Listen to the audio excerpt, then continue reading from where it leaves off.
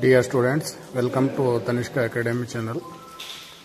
Let us learn how we can uh, simulate automatic water irrigation system in a Tinkercad. So to do that you have to log in into your uh, Tinkercad account and uh, go to new design and click on create circuit. So you will get go to this space workspace. You need an Arduino board. So select an Arduino board and you need a soil moisture sensor. Select one soil moisture sensor. And uh, you need some more components like uh, DC motor. So this will work as a pump in this uh, simulation. And uh, you need a power supply. Select that can search it by typing. So to operate a motor you need a supply. Then select another component that is a relay.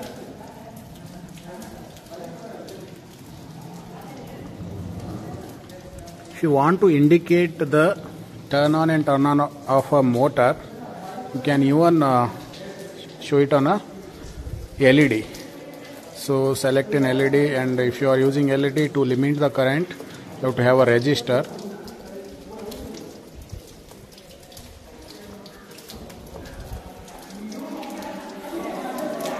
now let us make connection. First let us connect uh, soil moisture sensor. It has uh, three pins. So one is for power supply that is VCC then ground and then the signal which can be given to our Arduino. So connect them quickly from 5 volt to VCC then from ground to ground of the soil moisture sensor.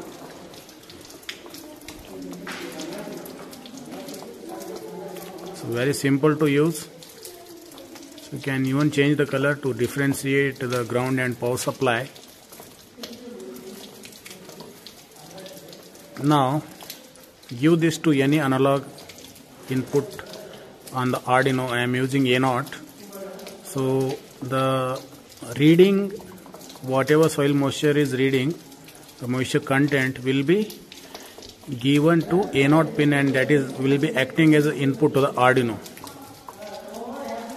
Now let us make connection to the motor and a power supply. Pin number 12 you connect it to the supply.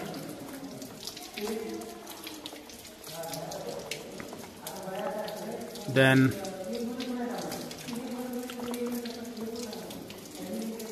pin number 8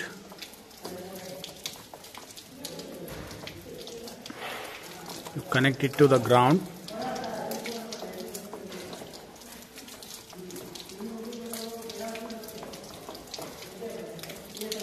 So I am changing the color so that I can easily identify the ground path.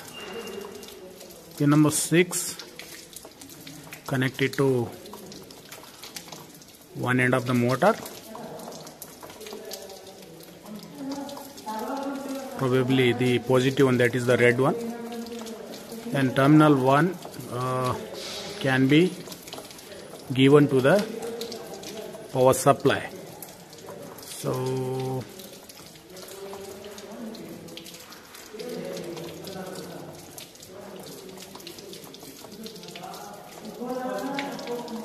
quickly make a connection. Then to activate the relay from the Arduino you can use any digital input pin. Uh, pin number 5 of the relay I'll be giving it to one of the digital input. In this case I'll be using pin number 2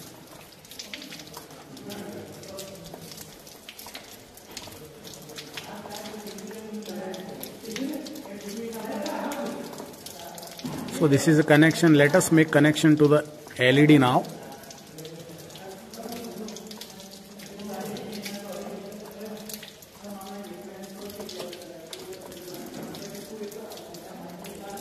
So anode of the LED give it to one pin, any one pin, then cathode you give it to resistor and ground it to the another end of the resistor should be grounded.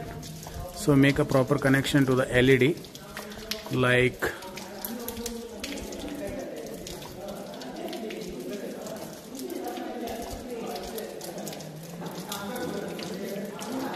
here told uh, connect anode to one pin. So here some mistake is there. I'll delete this.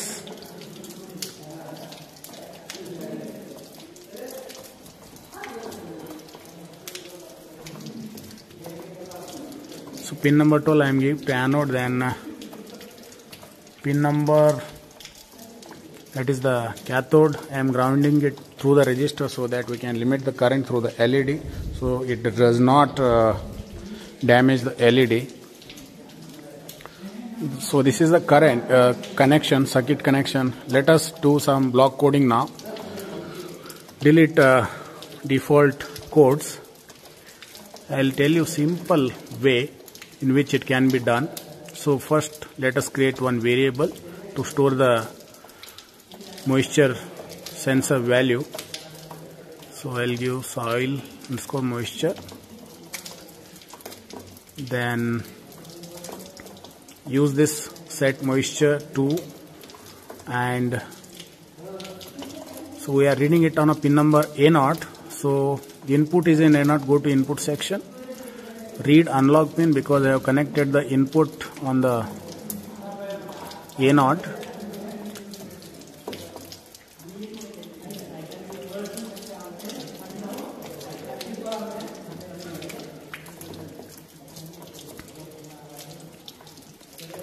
you are using digital pin you can use digital pin. If you are using another other pins you can use them. So here I have used as A0 so I am selecting it as A0 now let us print the value of sensor to the serial monitor. So how to do that? There is a block print to serial monitor. Then in place of hello world I'll use my variable that is soil underscore moisture so drag this and drop in this box. Now let us simulate this two line code and see if we can display some moisture value onto the serial monitor. I'll vary the you can vary by dragging this.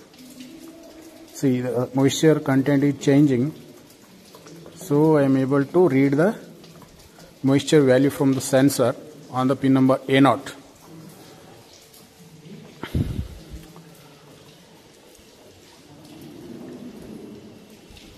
Now let us write code to trigger relay that can turn on our motor if the value of the moisture is above certain level.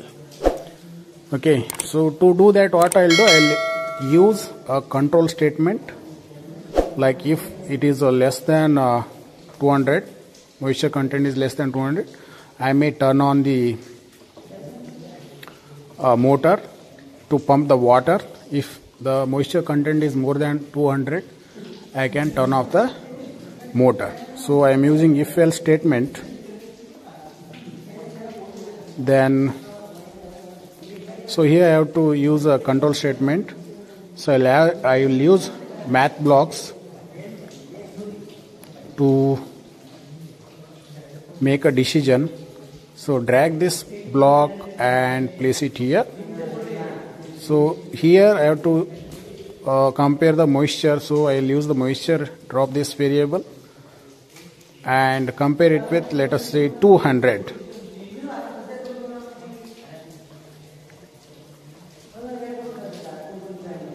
so if it is less than 200 our uh, motor should turn on. So the relay is connected to pin number 2 so that's why I have selected pin number 2 to activate the relay which in turn activates the motor. So this uh, second is I am adding because I want to even indicate it on a LED so that LED is connected to pin number 12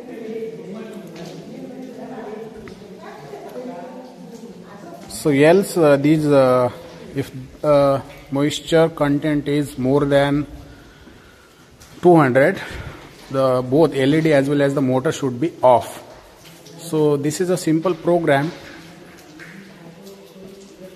And let us simulate this.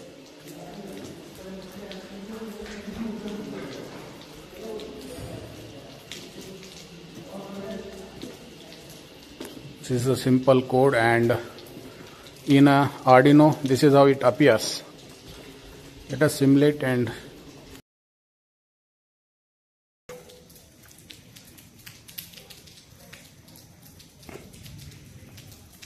so click on the simulation.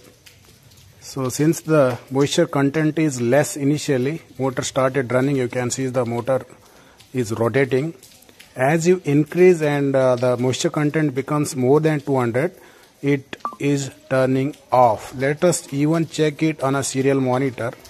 Value 700 something and you can see the motor is not rotating at all okay I am zooming it so that you can see this. Let us change this uh, in a uh, slowly so that you can see see if 203 still motor is off. If it is less than 200 it is started running as it is rotating. So it can pump the water when the moisture content is less. This is how you can uh, simulate uh, the soil moisture interface the soil moisture sensor to turn on the pump and simulate it on a Tinkercad and use it in your project or your experiment. Thank you so much for watching and share, like and subscribe. Thank you so much.